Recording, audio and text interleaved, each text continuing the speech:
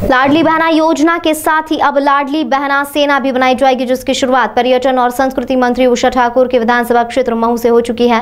उषा ठाकुर ने घोषणा की कि महू की सभी 78 पंचायत में लाडली बहना सेना का गठन किया जा रहा है, जिसके तहत प्रत्येक पंचायत पर 21 महिलाओं की टोली रहेगी। इसमें आत्मरक्षा के लिए लाठी और तलवार चलाना सिखाया जाएगा।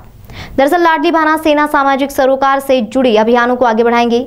गाँव गाँव में पेड़ पौधे लगाना, मंदिरों में भजन मंडली बनाना नशा मुक्ति अभियान चलाने के साथ ही लव जिहाद को भी रोकने का काम करेंगी। मंत्री उषा ठाकुर ने बताया कि मुख्यमंत्री शिवराज सिंह चौहान ने ही लाडली बहना सेना का सुझाव दिया था। इसकी मऊ से शुरुआत की जा रही है। महिलाओं के सशक्तिकरण में यह बड़ा कदम है। लाडली बहना सेना के लिए हितग्राही महिलाओं का ही स्वेच्छा से चयन किया जाएगा।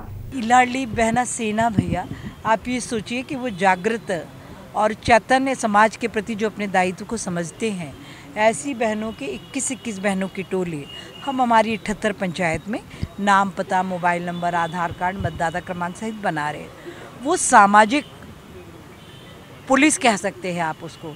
जो वहाँ बच्चों को संस्कारित करने का काम करेंगे जो अन्य हितग्राही योजनाओं का लाभ दिलाने के लिए लोगों को प्रेरित करेंगे और आध्यात्मिक प्रशिक्षण करेंगे आने वाली पीढ़ी का।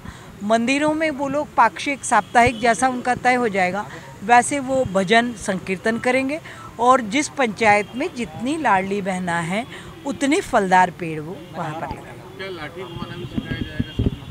लाठी चलाना भी सिखाएँगे तलवार चलाना भी सिखाएँगे।